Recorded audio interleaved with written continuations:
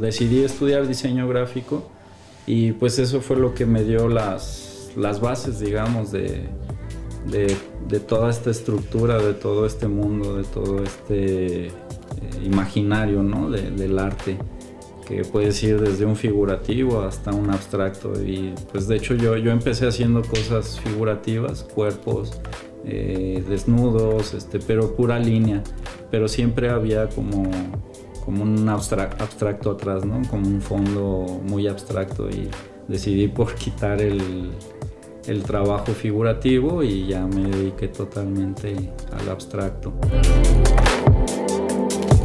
Y bueno, el tener, digamos, ya las bases del diseño gráfico, pues creo que te da esa estética, esa composición. Por ejemplo, con esta pieza, pues me, me he divertido mucho, ¿no? Porque solamente he dejado que todo, que todo fluya, ¿no?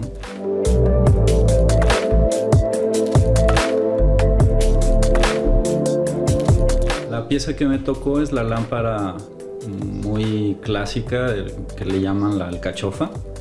Creo que más, más bien los, los rasgos de, de esta pieza, de, o sea, refiriéndome a la lámpara, eh, es como, como intentar pensar un poco en el autor y cómo la, a lo mejor bocetó, cómo a lo mejor este, la, dibujó y, tomó de la naturaleza algo tan, tan básico como la, la forma, la, el círculo, la línea, este, la luz, todos esos aspectos que también de los cuales también yo me, baso mucho, ¿no? Yo a veces ando viendo piedras y las texturas y, este, los colores, las formas y, todo eso hace que también mis piezas parezcan un poco también orgánicas, ¿no?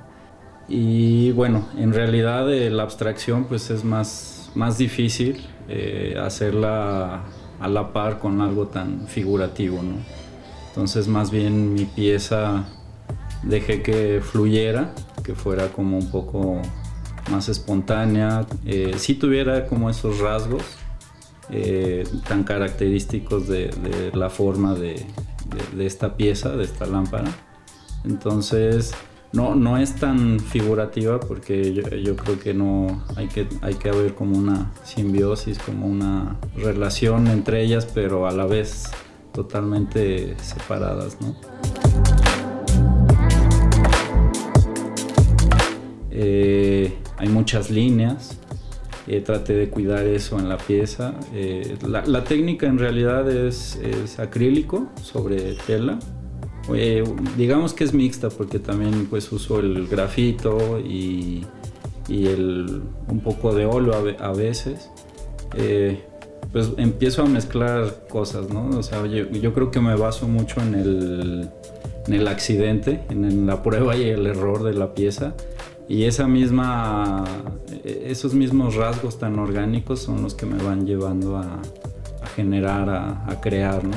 El diseño interior también pudiera ser muy frío o muy tajante ¿no? y, decir, no, bueno, esta pieza ni siquiera tiene que ver con, con, cierto, con cierta atmósfera del, diseño. ¿no? Y, bueno, e, esto te, te, anima a que puedas crear más, ¿no?